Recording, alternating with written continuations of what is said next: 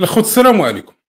عاوتاني الوزير عبد اللطيف وهبي كيخرج بتصريحات مثيرة جدا وكيخلق جدل كبير عند الرأي العام المغربي. قال لك صحاب الفيسبوك دسروا بزاف وخاصنا نربيو الكلاب اللي كتنبح وما بغاتش تسكت وتعطي التقار للسادة القضاة والأحكام القضائية اللي كيصدروها. الوزير قال بأنه باغي يطلق واحد السجين عمره 90 عام تقريبا حيت كبر بزاف. واخا اغتصب جوج ديال الاطفال صغار وقتل واحد منهم. أما الناس ديال الجمعيات الحقوقية فكلهم أو بعضهم كانوا أصحاب سوابق. ودابا كيطالبوا الحكومة بتطبيق حقوق الإنسان. وهبي قال ما غاديش يسكت لهم أما اللي دخل المحكمة شي ثلاثة ديال المرات وما عطاش تبرير علاش كان كيدخل المحكمة؟ هنا غادي يتم اعتباره نصاب بدون نقاش. وهبي كيقول هاد النوع غادي نعرفوا كيفاش نتعاملوا معاه وحتى الانتقادات اللي توجهات لتصريح وزير الأوقاف أحمد توفيق اللي هضر فيها على المغرب العلماني الإسلامي حتى هي ما عجباتش وهبي. الانتقادات قال لك الناس اللي انتقدوا هذا الوزير هم سطحيين. هذه المواضيع وتصريحات أخرى غادي تكون محور وموضوع حلقة اليوم. خليكم معايا ولكن ما تنساوش تحطوا التعليقات ديالكم. وتقولوا لنا بالضبط شنو بان لكم في التصريحات المثيرة الجديدة ديال السيد وزير العدل. شكون اللي متفق معاه في هذا الكلام اللي كيقول؟ وشكون اللي عنده رأي آخر؟ المهم فاصل قصير ديال ثواني قليلة فقط وأنا راجع لكم. قضية جديدة مع محمد البودالي على قناة كلاش تي في شنقول والله العلي العظيم إلى هادشي ديال وزير العدل عبد اللطيف وهبي ولا بحال شي كوميديا سوريالية خاصة جائزة أكبر مهرجان ديال التهكم في العالم. كل ما تكلم هذا السيد كنلقاو راسنا وسط واحد المشهد اللي طايح فيه أكثر من نايض. ماشي بشي حاجة ولكن من كثرة الضحك والبكاء في وقت واحد. اليوم جبت لكم التصريحات الأخيرة ديالو واللي بصراحة كتستاهل نقاش خاص جدا حيت ما بقى غير العجب العوجاب سمعوا معايا هذه مزيان. قال لك ساجين عنده 90 عام. وهبي بغى يطلقوا ويعطيه إفراج. وزيرنا المحترم بدا الحديث على واحد السجين اللي عنده 90 سنة. السيد كيف كيقول الوزير اغتصب جوج ديال الدراري صغار وقتل واحد منهم. وحكموا عليه بالإعدام في البداية. ولكن من بعد نزلوا ليه الحكم إلى المؤبد. وهنا السي وهبي كيشوف هذه الحالة بعين العطف والرحمة والحنان. قال لك هذا السيد منتهي زعما تسالى زعما طاحوا ليه السواق. وخاصنا نطلقوه فورا. وأنا كنقول واش من نيتك السي وهبي واش كتهضر بصح ولا كتمزح معانا؟ واحد قتل واغتصب وغادي تفرج عليه الطلق وحيت فقط هو كبير في العمر. وباش خربقني هذا السيد الوزير ملي قال بأن المشكل هو فيسبوك. وياه قال لك فيسبوك خرج علينا بزاف. كيسيء العدالة والقضاة السابقين والحاليين. دابا فيسبوك هو اللي دار الجرائم. ولا هو اللي كيناقش القضايا وكيطالب بتطبيق العدل والعدالة. واش بنادم اللي باغي يعيش في بلاد فيها قوانين عادلة وحقوق محفوظة؟ ولا كلاب كتنبح حسب التعبير ديالك حسب المنشور في موقع هيسبريس هذا التصريح. غادي نطلعوا لكل غاية مفيدة حيت كاين اللي ما غاديش يصدق. وأنا براسي والله ما تيقت كيفاش وزير العدل كيوصف الناس اللي كتنتقد في الفيسبوك بالكلاب النابحة. هنا إخواني أخواتي كيف كتشوفوا؟ هذه جريدة هيسبريس الإلكترونية.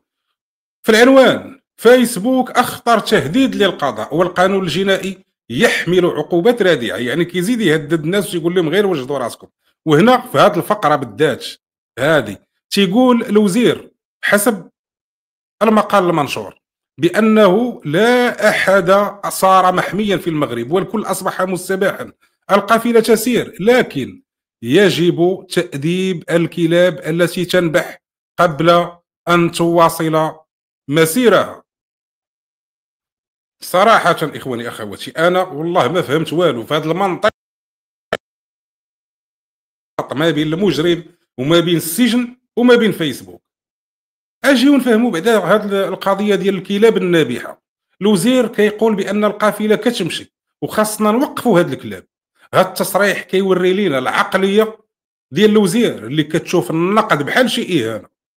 ولكن نفكروه السياسة السي الوزير هي انك تسمع النقد وتجاوب عليه. ما كنهضرش على اللي كيطيح في السب والقذف.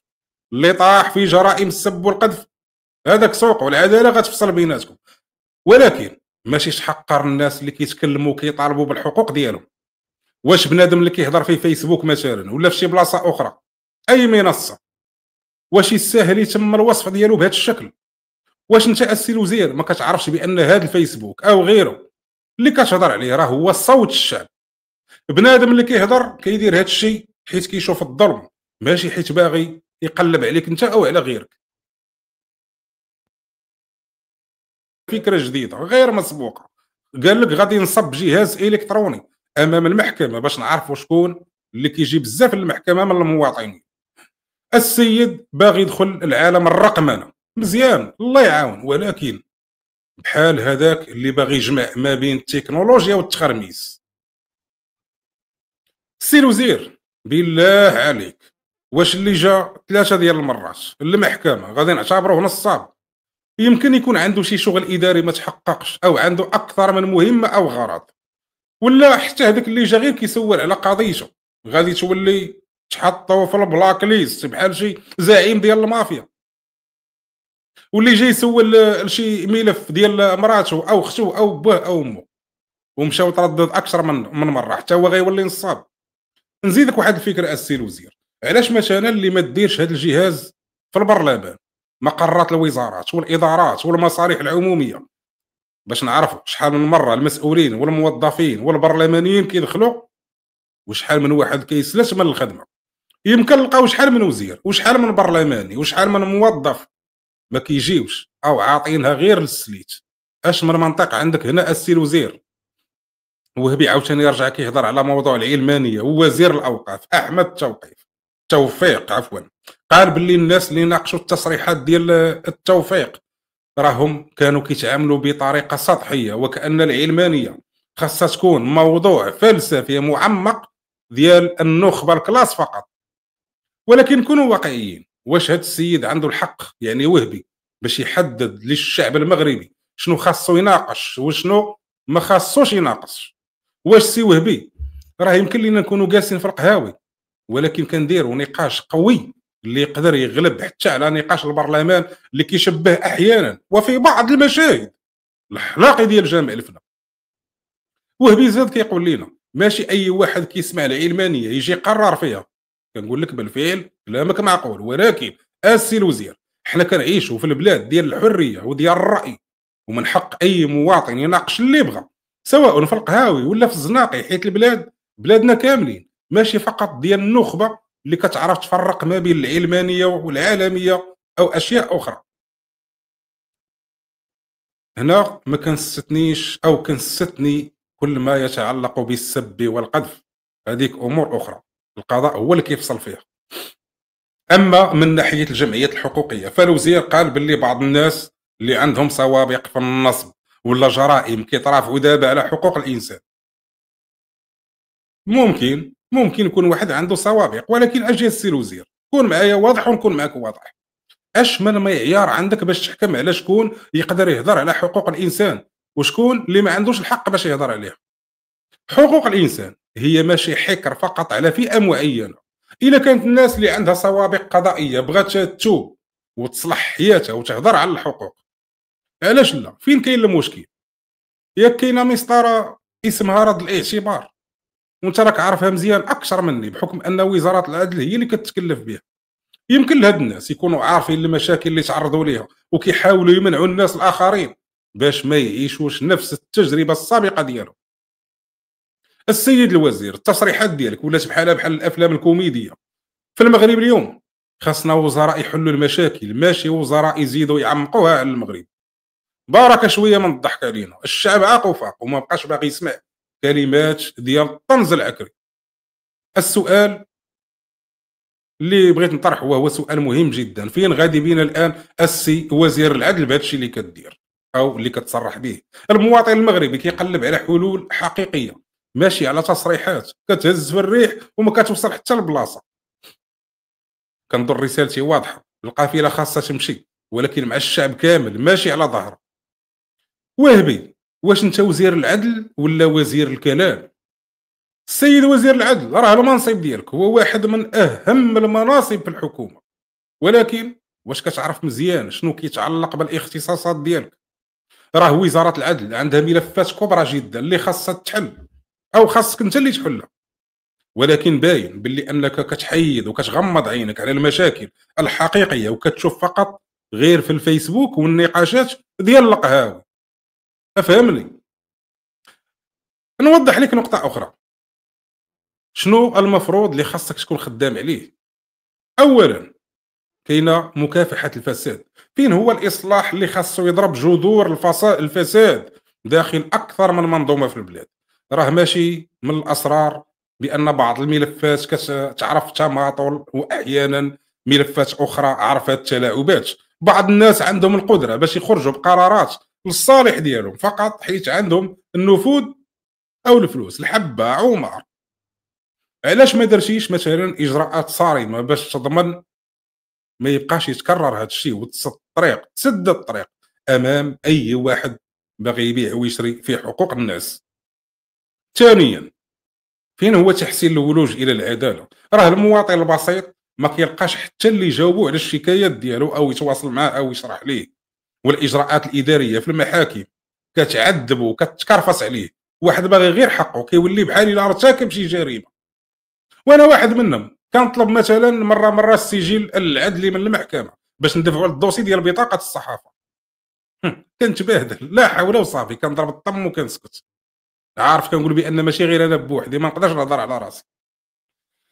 ثانيا فين هي الرقمنة الحقيقية اللي كتسهل المساطير وكتخلي المواطن يستافد من العدالة بدون محسوبية أو بيروقراطية؟ بالنسبة للقضية ديال السجل العدلي والله ما بقيت كنمشي للمحاكم وليت كنجيب حسن السيرة من الكوميسارية direct ما عنديش المشكل. المهم كنلقى الأمور شوية ميسرة. واش هذا الشيء؟ ماشي من اختصاص كالسي الوزير ثالثا محاربة التهرب الضريبي والفساد الإداري. فين هو القانون اللي كيدير مراقبة صارمة على الصفقات العمومية؟ وعلى طريقة إنفاق الميزانيات في المؤسسات. علاش ما كايناش إجراءات تفضح الفساد اللي كيخلي الملايين تضيع على البلاد والعباد؟ راه الناس كيتفرجوا في المجرمين اللي كيسرقوا وينهبوا الملاير وشحال من واحد كيبقى محمي كاين اللي يتابع متفق معك وكاين اللي باقي لحد الساعة داير ما بغى ولكن اللي كيطاول على شي درهم ولا جوج خاصو يتشد سواء كان كبير أو صغير. بحال الصغير بحال المجرمين الكبار سواء اللي سرق درهم أو سرق مليار كلشي خاصو يتشد. رابعا إصلاح السجون. فين هو البرنامج ديالك السي الوزير باش تحسن ظروف الاعتقال وتضمن حقوق السجناء؟ وتخلي السجن فعلا مدرسة ديال التأديب والتأهيل والتهذيب وما يكونش عبارة على معهد لاعاده تخريج السجناء. السجون ديالنا ماشي غير مكان للعقاب ولكن خاصها تكون بالفعل مكان ديال الإصلاح وإعادة الإدماج. فين هو الدور اللي كتلعبوا الوزارة ديالك السي الوزير باش تمنع السجون ما تكونش مدارس ديال الإجرام عوض ما تكون وسيلة للإصلاح؟ خامسا حماية حقوق الإنسان. فين هي الإجراءات اللي خاصها تعزز حقوق الإنسان؟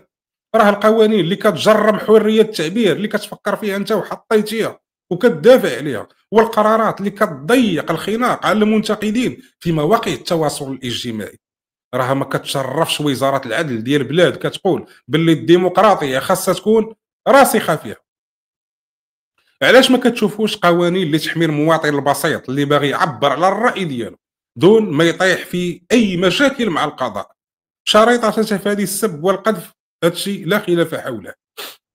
سادسا إصلاح القوانين المتقادمة والمتهالكة. فين هي الخطط ديالك السي وهبي باش تحدث القوانين اللي ما بقاش عندها معنى في العصر الحالي؟ راه بعض النصوص القانونية ديالنا قديمة بزاف وما بقاتش كتعكس الواقع ديال اليوم. علاش ما كنشوفوش منك مثلا مبادرات باش نواكبوا العصر الحالي؟ السي وهبي راه الوزارة ديالك مسؤوليتها كبيرة وجسيمة جدا. وما خاصهاش تبقى فقط غارقة في التصريحات الغريبة والهروب إلى الامام المواطن باغي يشوف النتائج على أرض الواقع وماشي فقط يسمع الشعارات.